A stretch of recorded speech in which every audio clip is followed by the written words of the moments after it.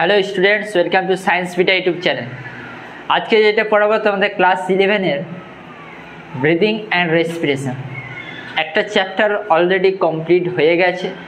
আজকে একটা new chapter ধরা হচ্ছে। ওই ডাইজেশন পরিপাক ও শোষণের পরবর্তী চ্যাপ্টারটা হচ্ছে ব্রিদিং অ্যান্ড রেসপিরেশন অর্থাৎ শ্বাসকার্য ও শ্বসন। এই চ্যাপ্টারটা আজকে পড়ব।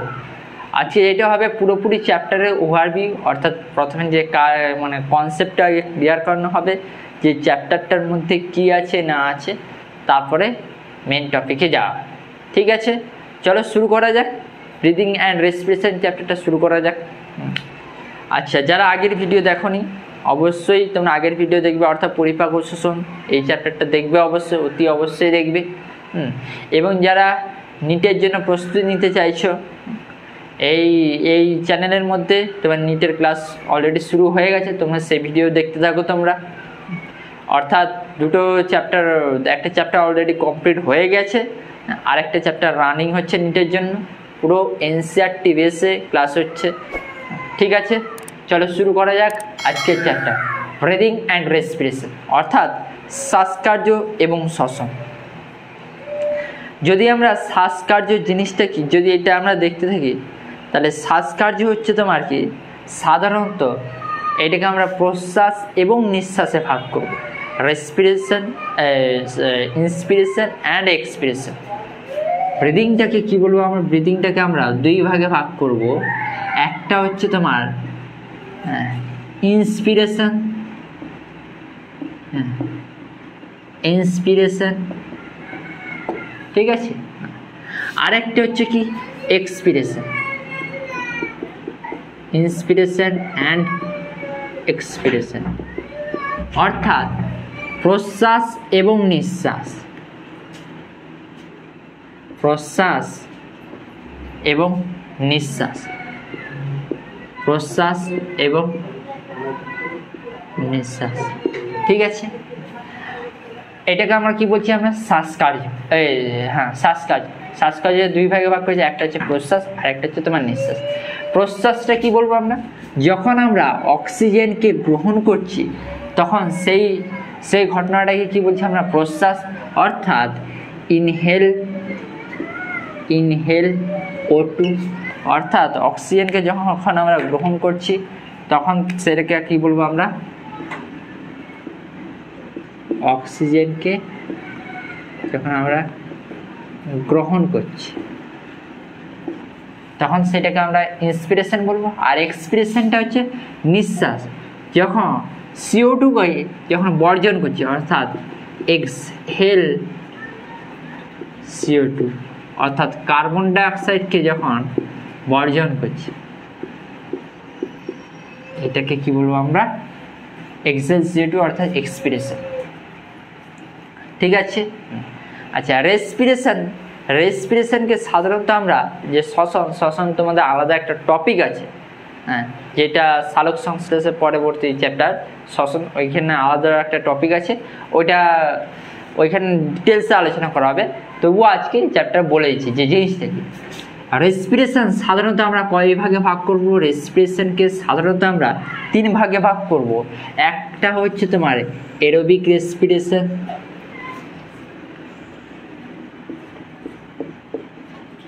aerobic aerobic respiration aerobic respiration এটাকে কি বলব আমরা? সবাত শ্বসন।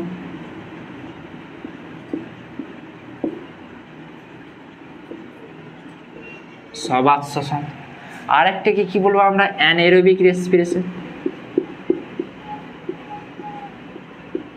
অ্যানএরোবিক রেসপাইরেশন এইটাকে কি বলব আমরা? অবাধ শ্বসন। অবাধ শ্বসন। ঠিক আছে। আর এইটা কি আরেকটা কি কি, আরেকটা কি আছে? আরেকটা আছে তোমার। অ্যানারোবিক রেসপিরেশন এরোবিক আরেকটা হচ্ছে ফার্মেন্টেশন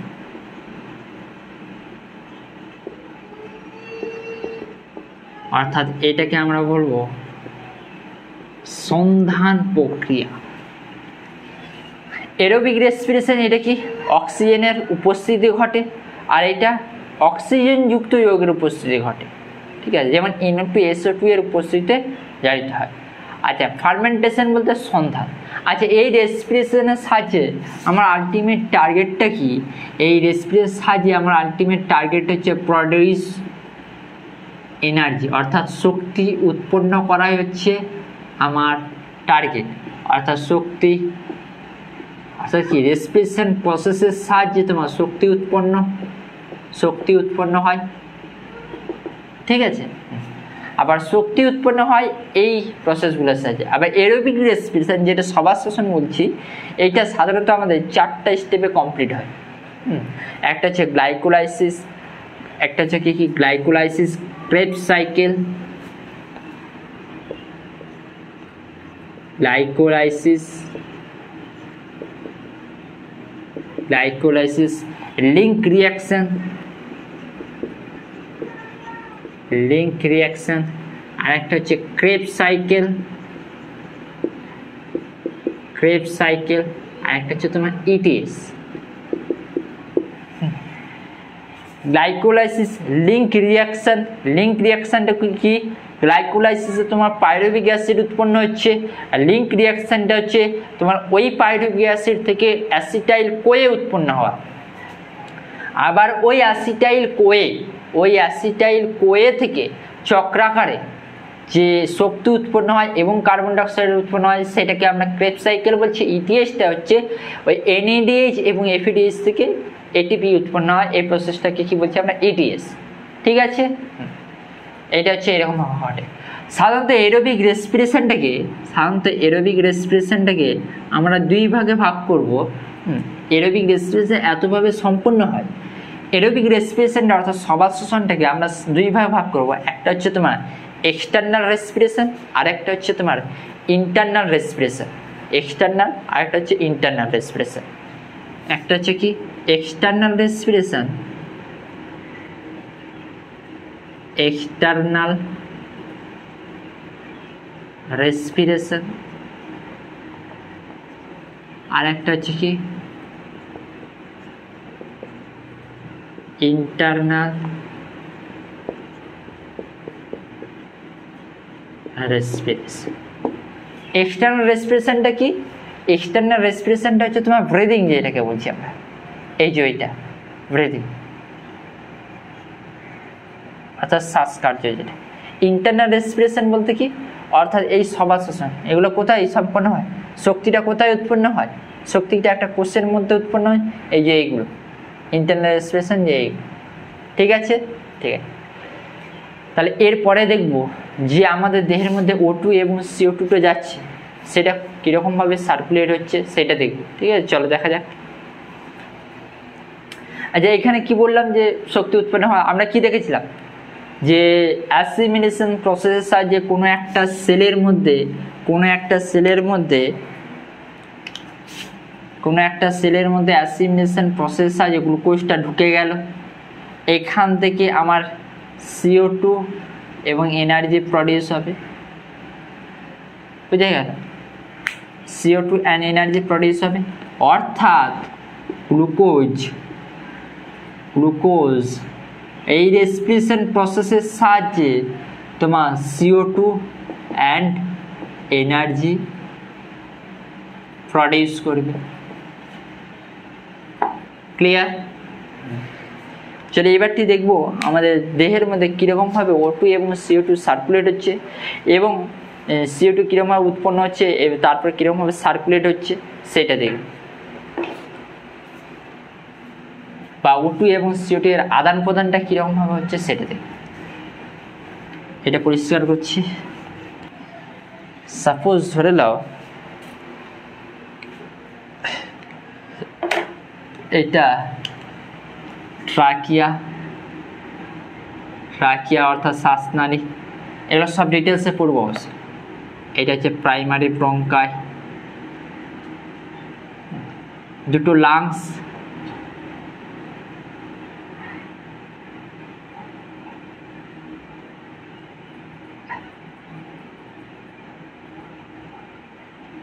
লাংস ঠিক আছে? আবার এই লাংসের মধ্যে কি আছে? ব্লাড ভেসেল আছে। রক্ত জ্বালা অর্থাৎ এখানকার অ্যালভিওলাই অ্যালভিওলাইয়ের উপর তোমার ব্লাড ভেসেল আছে। আমি এখানে বুঝাবার পরিপ্রেক্ষিতে একটু দূরে দূরে আঁকছি ঠিক আছে? ব্লাড ভেসেল আছে। আর একটা হৃৎপিণ্ড ধরে এলাম সাপোজ একটা হৃৎপিণ্ড, একটা হৃৎপিণ্ডের মধ্যে চারটা ভেন্ট্রিকেল আছে, চারটা ভেন্ট্রিকেল আছে। উপরটাকে কি বলা হচ্ছে? অরিন্দ হ্যাঁ অরিন্দ আর নিচেরটাকে কি বলছি আমরা? নিলয় আচ্ছা এটাকে কি বলছি আমরা? লেফট অ্যাট্রিয়াম, অর্থাৎ তোমার বাম অরিন্দ। আর এটাকে কি বলছি তোমার? রাইট অ্যাট্রিয়াম, অর্থাৎ ডান। আর এটাকে কি বলছি আমরা? Left ventricle and right ventricle. ঠিক আছে? দেখো তাহলে। ও টু এবং সিও টুটা কীরকমভাবে সার্কুলেট হচ্ছে? এটা ও টু ঢুকলো, ঠিক আছে? ও টু যাবে কোথায় দিয়ে? ট্রাকিয়া দিয়ে যাবে। ট্রাকিয়া থেকে প্রাইমারি ব্রঙ্কাই প্রাইমারি ব্রঙ্কাই থেকে এখানে যাবে। আবার একদম তোমার অ্যালভিওলাইয়ের মধ্যে থাকবে। এই অ্যালভিওলাইয়ের মধ্যে তোমার কি আছে? ব্লাড ভেসেল আছে। তাহলে কি? এই ব্লাড ভেসেলগুলো ব্লাড ভেসেলের মধ্যে আসবে তাহলে ও টুটা ঠিক আছে? ও টুটা ব্লাড ভেসেলের মধ্যে এলো। আর ব্লাডের মধ্যে এক প্রকার উপাদান আছে। সেটার নামটা কি? ব্লাডের মধ্যে যে হিমোগ্লোবিন আছে, ওই হিমোগ্লোবিনের সাথে অক্সিজেনটা বাইন্ড করবে, অর্থাৎ যুক্ত হবে। তারপর কি গঠন করবে? এই জিপিও টু অর্থাৎ অক্সি হিমোগ্লোবিন নামক যৌগ গঠন করে। ঠিক আছে? অক্সি হিমোগ্লোবিন নামক যৌগ গঠন করবে। ওই এই রক্তটা এই রক্তটা কোথায় আসবে তোমার? এই রক্তটা, অর্থাৎ অক্সিজেনযুক্ত রক্তটা কোথায় আসবে তোমার? লেফট অ্যাট্রিয়ামের মধ্যে আসবে। কার সাহায্যে তোমার? ফুসফুসীয় শিরা, অর্থাৎ ফুসফুসীয় শিরা, অর্থাৎ পালমোনারি ভেনের সাহায্যে আসবে। তারপর এখান থেকে অক্সিজেনযুক্ত রক্তটা কোথায় আসবে? এটা কি?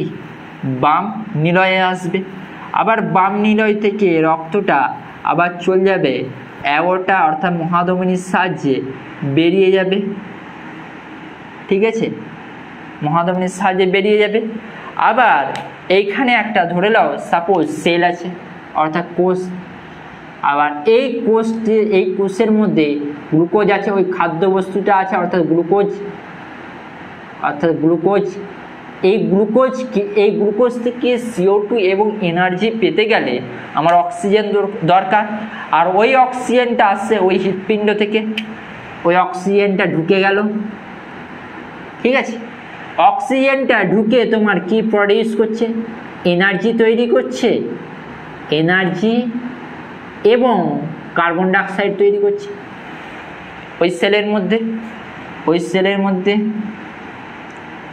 ঠিক আছে? আবার এনার্জি তো মাইটোকন্ড্রিয়ার মধ্যে উৎপন্ন হচ্ছে, এটা থাকছে। কিন্তু সিও টু এটা তো টক্সিক অর্থাৎ বিষাক্ত, এটাকে বাইরে বার করতে হবে। আবার সিও টুটা তোমার বাইরে বেরিয়ে গেল ব্যাপন প্রক্রিয়ার সাহায্যে সিও টু তোমার বাইরে বেরিয়ে যাবে। তারপর ওই সিও টু যুক্ত রক্তটা কোথায় যাবে? ওই সিও টু যুক্ত রক্তটা তোমার ওই হৃৎপিণ্ডের মধ্যে আসবে। কোথায়? সুপেরিয়ার ভেনাকোবা ইনফেরিয়ার ভেনাকোবার সাজে রাইট অ্যাট্রিয়ামের মধ্যে আসবে। এখান থেকে আবার এখান থেকে কোথায় যাবে? রাইট ভেন্ট্রিক্যাল অর্থাৎ ডান নিলয়ের মধ্যে আসবে। এখান থেকে আবার এই কার্বন ডাইঅক্সাইড যুক্ত রক্তটা ফুসফুসীয় ধমনির সাহায্যে কোথায় যাবে? ফুসফুসীয় ধমনির সাহায্যে চলে যাবে তোমার ব্লাড ভেসেলের মধ্যে।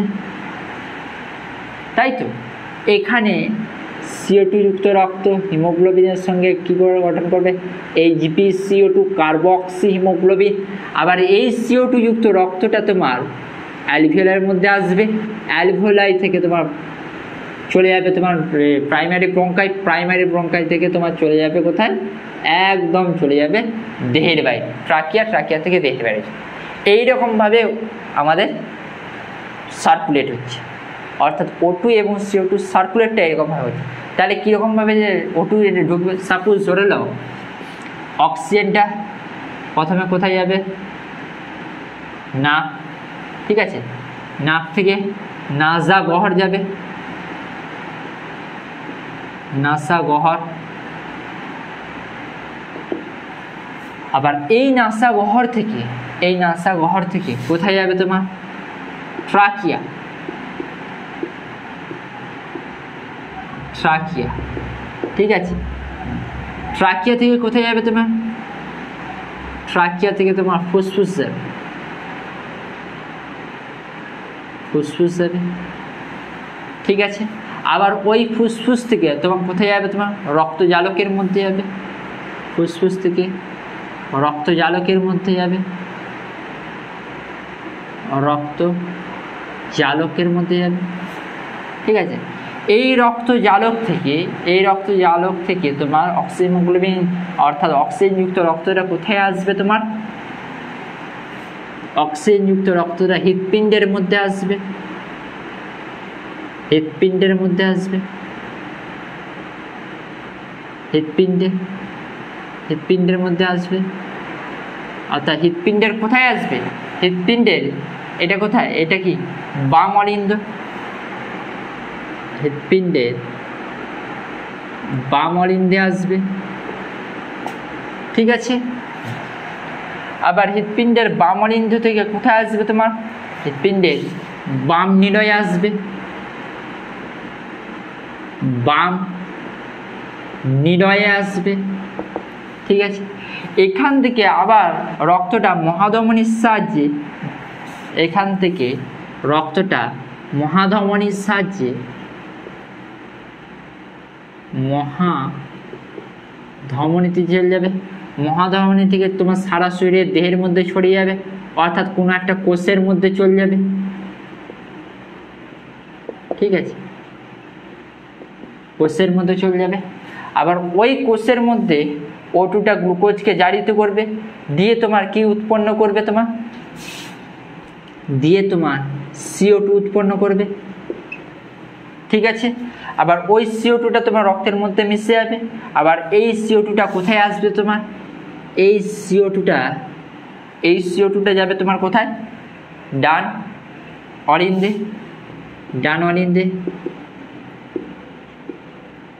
ডান অলিন্দে আসবে। আবার এই ডান অলিন্দে থেকে চলে যাবে কোথায়? ডান নিলয় সিও টু যুক্ত রক্ত। ডান নিলয়ে যাবে। আবার এই ডান নিলয় থেকে, এই ডান নিলয় থেকে ফুসফুসীয় ধমনির সাহায্যে রক্ত জালকের মধ্যে চলে যাবে। ফুসফুসীয়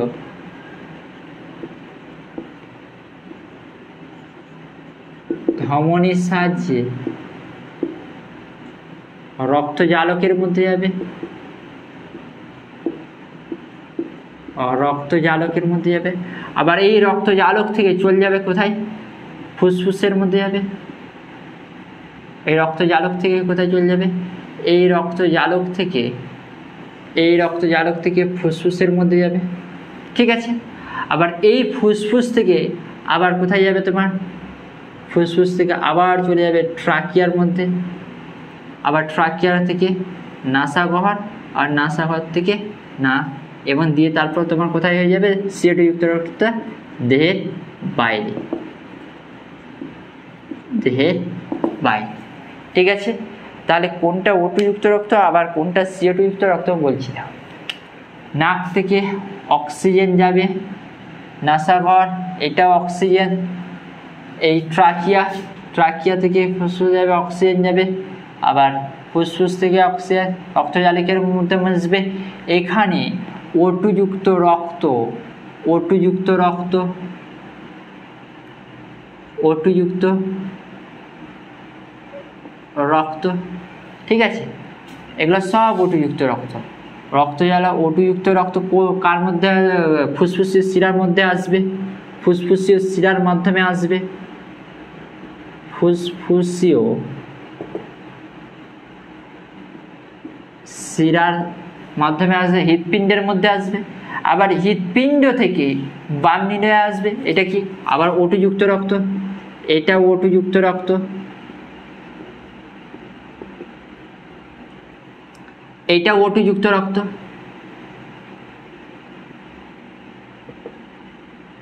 এটা ওটু যুক্ত রক্ত।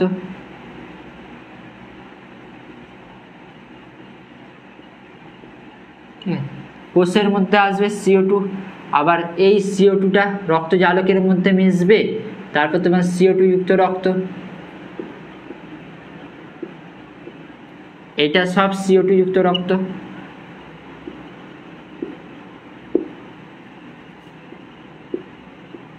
সব সিও টু যুক্ত রক্ত। এগুলো সব সিও টু যুক্ত রক্ত। সব সিও টু যুক্ত রক্ত।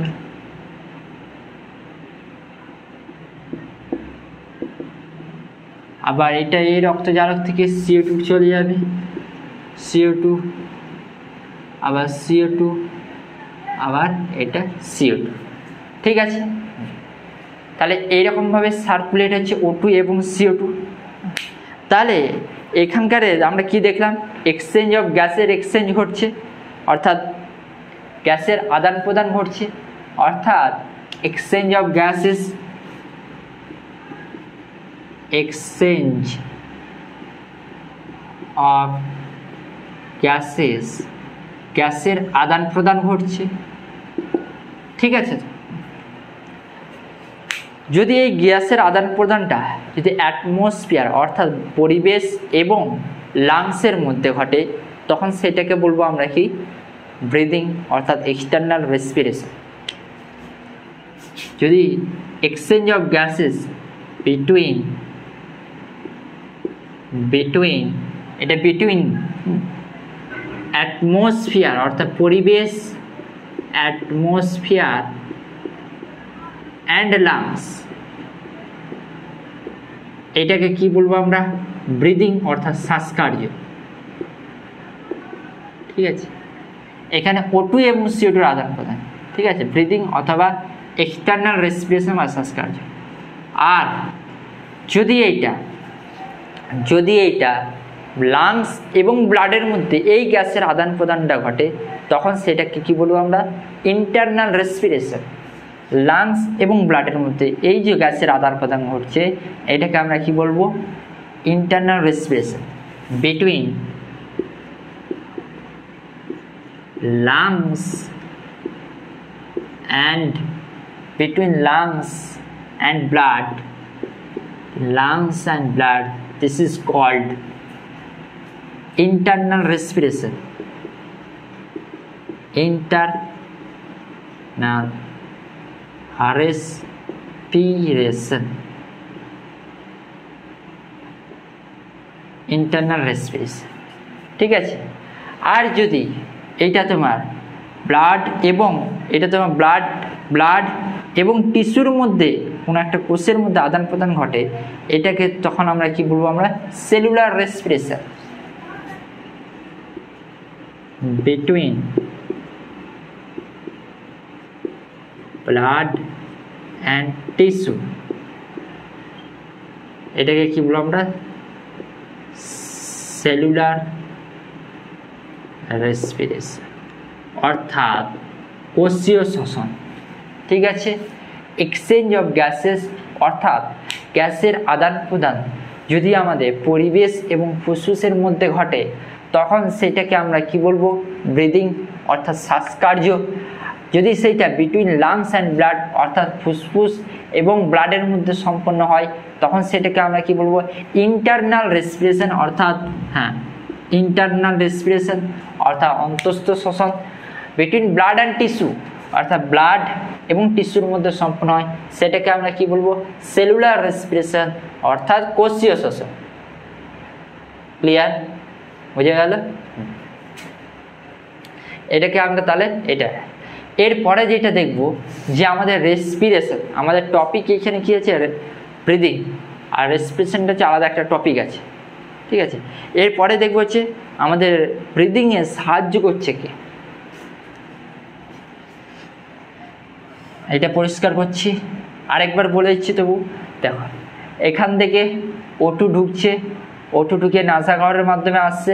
নাসাঘর থেকে ট্রাকে আসছে। ট্রাকে থেকে ফুসফুস যাচ্ছে। ফুসফুস থেকে তোমার রক্ত জালক রক্ত জালক থেকে তোমার ফুসফুসের শিরার মাধ্যমে হৃৎপিণ্ডে প্রবেশ করছে। হৃৎপিণ্ড থেকে তোমার বাম নিলয় বাম নিলয় থেকে মহাধমনী মহাধমনী থেকে তোমার ওটুযুক্ত রক্ত সারা শরীরে দেহের মধ্যে ছড়িয়ে আছে, কোনো কোষের মধ্যে ওই ওটুটা ঢুকছে গ্লুকোজকে জারিত করার জন্য। আবার ওইখান থেকে গ্লুকোজটা জারিত হয়ে তোমার সিওটিকে প্রডিউস করছে। আবার ওই সিও যুক্ত রক্ত সিও টুটা টক্সিক যেহেতু, দেহের বাইরে নির্গত হয়ে যাবে। আবার ওই সিও টুটা তোমার ডানলিন্দে আসছে। আবার ডানলিন্দ থেকে ডানলয় আবার সিও টু যুক্ত রক্ত ফুসফুসীয় ধমনির সাহায্যে রক্তজালকের মধ্যে যাচ্ছে আবার ওই রক্তজালক থেকে তোমার ফুসফুসের মধ্যে চলে যাচ্ছে দিয়ে তারপর আবার রিভার্স পাথওয়েতে আবার চলে আসছে দেহের বাইরে নির্গত হয়ে যাচ্ছে। এইটা হচ্ছে প্রসেস এরপরে দেখব আমরা হ্যাঁ ব্রিদিংয়ে অর্থাৎ ব্রিদিংয়ে ব্রিদিংয়ে তোমার শ্বাসকার্যতে সাহায্য করছে কি? মানবদের শ্বাসতন্ত্র, অর্থাৎ human respiratory system human respiratory respiratory system respiratory system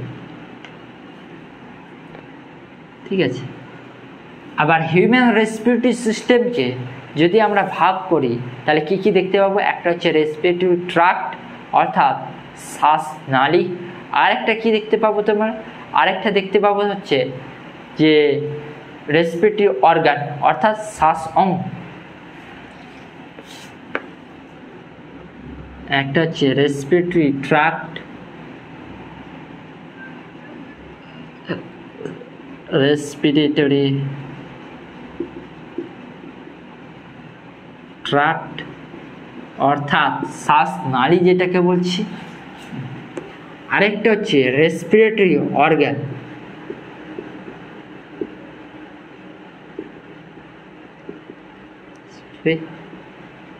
organ অর্থাৎ শ্বাস অঙ্গ।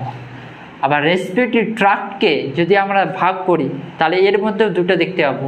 একটা হচ্ছে তোমার, একটা হচ্ছে তোমার কি আপার রেসপিরেটরি ট্রাক্ট আর একটা হচ্ছে তোমার লোয়ার রেসপিরেটরি ট্রাক্ট ঠিক আছে? একটা হচ্ছে তোমার upper respiratory tract upper respiratory tract আরেকটা হচ্ছে তোমার কি? Lower respiratory tract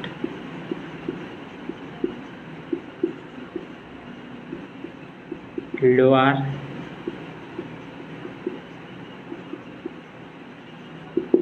lower respiratory upper respiratory tract অর্থাৎ মানে আপার পোর্শন যে শ্বাসনালীটা আছে, এটা কোথা থেকে কোথা পর্যন্ত বিস্তৃত? নাক থেকে একদম নোজ থেকে ফ্যারিংস ফ্যারিংস থেকে তোমার ল্যারিংস ল্যারিংস পর্যন্ত এটাই বিস্তৃত। লোয়ার রেসপিরেটরি ট্রাক্ট এটা কোথা থেকে কোথা? একদম ট্রাকিয়া থেকে লাক্স ট্রাকিয়া থেকে পুরোপুরি লাংস পর্যন্ত বিস্তৃত। ঠিক আছে, এটা হচ্ছে লোয়ার রেসপিরেটরি আর হচ্ছে রেসপিরেটরি অর্গ্যান বলতে কি কি আছে? রেসপিরেটরি অর্গ্যান সাধারণত আমরা দুটো জানব একটা হচ্ছে তোমার লাংস অর্থাৎ যাকে আমরা বলব ফুসফুস।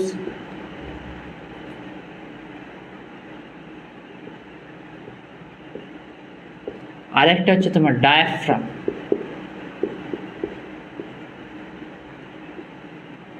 আরেকটা হচ্ছে মধ্যচ্ছেদা। মধ্যচ্ছেদা। Diaphragm and মধ্যচ্ছেদা। ঠিক আছে? এইটা হচ্ছে আমাদের টপিক এরপরে হচ্ছে যে এক একটা রেসপিরেটরি অর্গান অ্যান্ড রেসপিরেটরি টান এরপরে হচ্ছে তোমার নোজ নোজ সম্বন্ধে আমরা জানব। এখানে কি কি সম্বন্ধে আমরা জানব তাহলে? নোজ, নোজের মধ্যে কি আছে? নেজাল ক্যাভিটি নেজাল ক্যাভিটির মধ্যে কি আছে সেটা সম্বন্ধে আমরা জানব। এছাড়া আর কি আছে তোমাদের? আর আছে তোমার নোজের মধ্যে কি কি ন, একটা হচ্ছে এক্সটার্নাল নস্টিস আর একটা হচ্ছে ইন্টারনাল নস্টিস এগুলো সম্বন্ধে জানব। ফ্যারিংস ফ্যারিংস তোমাদের ডাইজেশন অ্যান্ড অ্যাবজর্পশন ওই চ্যাপ্টারে পড়েছি, ওইটা সম্বন্ধে জানব। ফ্যারিংসের কাজ সম্বন্ধে জানব। ল্যারিংস ল্যারিংস ল্যারিংসের মধ্যে কটি কাটিলেজ আছে সেটা সম্বন্ধে জানব, এর কাজ কি সেটা। লোয়ার রেসপিরেটরি ট্রাক্ট এই ট্রাকিয়া ট্রাকিয়াটা আবার কয়েকগুলি ভাগে বিভক্ত হচ্ছে। এগুলো কি, কতগুলি ভাগে বিভক্ত হচ্ছে, কীরকমভাবে সার্কুলেট হচ্ছে, এটা সম্বন্ধে জানব। এছাড়া আমরা জানব ফুসফুসের স্ট্রাকচার স্ট্রাকচার অফ লাংস এটা সম্বন্ধে জানব। এরপরে কি দেখব, যে ফুসফুসের মধ্যে কী আছে, না আছে, সেটা দেখব। ডায়াফ্রাম সম্বন্ধে আমরা হালকা করে জানব। এখানকার যে আরেকটা ইম্পর্টেন্ট কোশ্চেন হচ্ছে যে মেকানিজম অফ ব্রিদিং অর্থাৎ শ্বাসকার্যের কৌশল যান্ত্রিক কৌশল বর্ণনা করো, ওইটা সম্বন্ধে জানব যে কীরকমভাবে তোমার শ্বাসকার্যের ইয়েটা হচ্ছে। একটা আছে তোমার external intercostal muscle internal intercostal muscle এগুলো সম্বন্ধে জানব, ঠিক আছে তো? আর কি আছে তোমাদের? যে এক্সটার্নাল ইন্টারকস্টাল মাসেলের রোলটা কি? ব্রিদিংয়ে কোন কোন মাসেল হেল্প করছে? ব্রিদিংয়ের মধ্যে ইন্সপিরেশন অর্থাৎ প্রশ্বাসে কোন কোন মাসেল রোল করছে, আবার নিঃশ্বাসে কোন কোন মাসেল রোল করছে, ওদের রোলটা ভূমিকাটাই বা কী, সেটা সম্বন্ধে জানব। ঠিক আছে? হ্যাঁ। তারপর তোমাদের জানব যে গ্যাসের আদান প্রদান এক্সচেঞ্জ অফ গ্যাস অর্থাৎ গ্যাসের আদান প্রদান কীরকমভাবে হচ্ছে? আমরা জানি গ্যাসের আদান প্রদান তো ডিফিউশন প্রসেসের সাহায্যে হচ্ছে। হ্যাঁ। ডিফিউশন প্রসেসের সাহায্যে, ব্যাপক পদ্ধতির সাহায্যেই ঘটছে। কিন্তু কীরকমভাবে হচ্ছে? এখানে প্রেসারের মানে এখানে প্রেসারের মানে পার্থক্য আছে। ডিফারেন্ট প্রেসার প্রেসারের পার্থক্য আছে। ওই ফুসফুস এবং রক্তজালকের মধ্যে প্রেসারের পার্থক্য আছে। ওই পার্থক্যের তারতম্যজনিত কারণে ব্যাপন পদ্ধতির সাহায্যেই পুরোপুরি ঘটছে। গ্যাসের বিনিময় আদান প্রদান কীরকমভাবে হচ্ছে সেটাও দেখব। এছাড়া এখানের মধ্যে আর কি দেখব তোমার? আর কি হচ্ছে? ট্রান্সপোর্ট অফ অক্সিজেন অর্থাৎ transport of oxygen and CO two oxygen এবং কার্বন ডাইঅক্সাইডের পরিবহনটা কীভাবে ঘটছে? ওই যে বললাম না যে অক্সিজেন হিমোগ্লোবিনের সাথে বাইন্ড করছে অক্সি হিমোগ্লোবিন এবং কার্বন ডাইঅক্সাইডের সাথে বাইন্ড করে তোমার কার্বক্সি হিমোগ্লোবিন গঠন করছে। সেটা কীরকমভাবে হচ্ছে, কত পার্সেন্ট প্লাজমাতে দ্রবীভূত হচ্ছে, কত পার্সেন্ট অক্সিজেন পরিবহন করছে, সেটা সব দেখব। ঠিক আছে? এছাড়া আর কি দেখব আমরা? এছাড়া আর দেখব হচ্ছে তোমাদের যে পালমোনারি ভলিউমস দেখব হ্যাঁ পালমোনারি ভলিউমস এবং পালমোনারি ক্যাপাসিটিস দেখব। ঠিক আছে? আচ্ছা এটা হচ্ছে তোমার পার্ট ওয়ান ভিডিও এবং নেক্সট ভিডিওতে পুরোপুরি ডিটেলসে আলোচনা করা হবে। যে নোজ থেকে একদম লাংস ডায়াফ্রাম পর্যন্ত পুরোপুরি ডিটেলসে আলোচনা করবে। ঠিক আছে, আজকে তাহলে এতটাই। Thank you have a nice day